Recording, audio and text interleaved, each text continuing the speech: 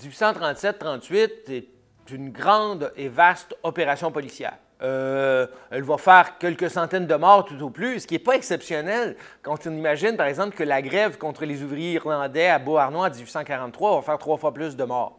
Non, les rébellions de 1837-38 ne sont pas remarquables quant à l'ampleur des opérations militaires. Si un fait, entre autres, qui, s'avère plus déterminant, c'est bien la répression disproportionnée qu'on va imposer euh, à ceux qui ont osé braver la Grande-Bretagne au Bas-Canada.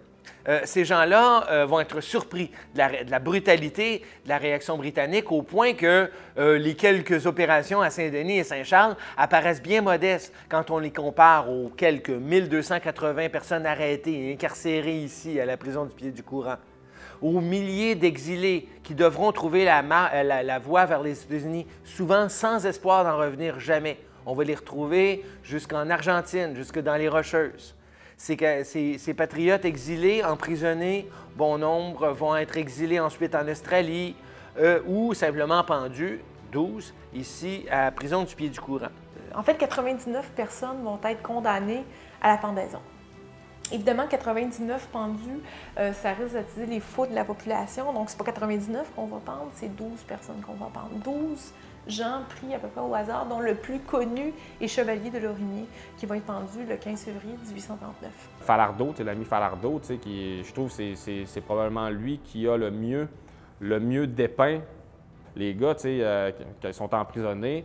Euh, la, femme, de, la, femme de Delorimier qui vient le rencontrer dans le film de Falardeau, je trouve c'est super bien, c'est, super bien présenté. Puis on sent la souffrance, on sent à quel point c'était pas innocent, puis ces gens-là savaient ce qu'ils faisaient puis en acceptait les conséquences. Euh, de qui euh, passe les dernières heures avant d'aller se faire pendre, il passe avec sa femme, et malgré tout, il n'est pas brisé moralement, politiquement.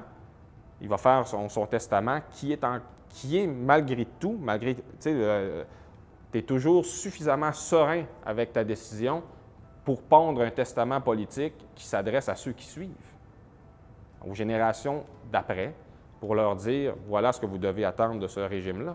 Et du nombre qui va rester des 99 finalement, 58 euh, vont être exilés en Australie. Et ça, c'est la colonie pénitentiaire.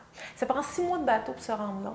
Les patriotes du Bas-Canada, euh, je dis patriotes du Bas-Canada parce que ceux du Haut-Canada aussi, certains vont être exilés en Australie, euh, vont s'embarquer sur un bateau qu'on va appeler le Buffalo, et euh, vont se rendre comme ça, enchaînés les uns aux autres dans les cales euh, qui ne font pas une hauteur d'homme, jusqu'en Australie. Et en Australie, ils vont être très chanceux parce qu'ils vont être pris en charge par, un curé catholique là-bas qui parle français et qui va tenter de s'occuper d'eux et de leur donner les meilleures conditions. Donc, comparativement, contrairement en fait aux patriotes du Haut-Canada, euh, nos patriotes ici vont avoir, vont être un peu avantagés là-bas. Évidemment, ils vont avoir des travaux forcés à faire. Ils vont avoir à construire une route qu'on va appeler la route de Parramatta, qui longe la rivière du même nom. Euh, donc, travaux forcés, mais tranquillement, ils vont avoir des petits avantages. Ils vont pouvoir avoir des journées de congé, euh, vont pouvoir avoir des paillasses, euh, avoir des couvertures plus chaudes, travailler moins longtemps dans le jour et tout ça. Mais ça reste que c'est quand même un moment pas drôle, c'est quand même des travaux forcés. Au-delà de cette répression cependant spectaculaire, il y a une répression plus sourde, mais beaucoup plus efficace. On pense bien sûr à la limitation des libertés. Dès le mois de mars 1837, 38, dis-je, le Parlement du Bas-Canada est aboli, la Constitution de 1791 suspendue, les libertés individuelles abolies, l'habeas corpus n'existe plus. En somme, n'importe quel officier du gouvernement est en mesure d'arrêter n'importe qui et de l'incarcérer sans lui avancer les motifs de son incarcération aussi longtemps qu'il le voudra. Or, cette loi martiale, cette loi des mesures de guerre, elle va durer pas moins de quatre ans et va s'étendre jusqu'en 1841. C'est dire combien le Bas-Canada va être plongé pendant ces quatre années-là dans une noirceur totale. Pendant cette période-là, c'est un conseil spécial d'origine militaire qui prend l'ensemble des décisions, y compris une décision dramatique, celle de désormais unir le Québec à l'Ontario. L'acte d'union ne sera jamais adopté par un Parlement élu, mais sera l'une des décisions prises par le Conseil militaire que nous impose la Grande-Bretagne au lendemain des rébellions de 37-38. Quelques années plus tard, la reine, euh, lorsqu'elle va finalement euh, donner euh, le, permettre de la mise en place d'un Parlement, va aussi évidemment pardonner à ces patriotes-là, guillemets, leur permettre de réintégrer le Bas-Canada. Finalement, ils ne seront plus, euh, ils ne seront plus prisonniers euh, dans la colonie pénitentiaire. Cependant, leur, euh, leur voyage de retour ne sera pas payé par le gouvernement. Ils vont devoir, eux, défrayer les propres coûts pour, pour revenir ici. Chose qu'ils vont tous faire, sauf deux. Un qui a, qui a décidé de fonder famille là-bas, donc il ne reviendra pas au Bas-Canada et euh, l'autre qui va, qui va y mourir malheureusement, mais en tant qu'homme libre. Après, euh, au moment où il y a eu son, pardon, euh, il va travailler comme tous les autres pour ramasser des sous, qui, est très difficile d'ailleurs à faire parce qu'il ils ont, ils ont, une étiquette finalement à coller sur eux comme étant d'anciens prisonniers.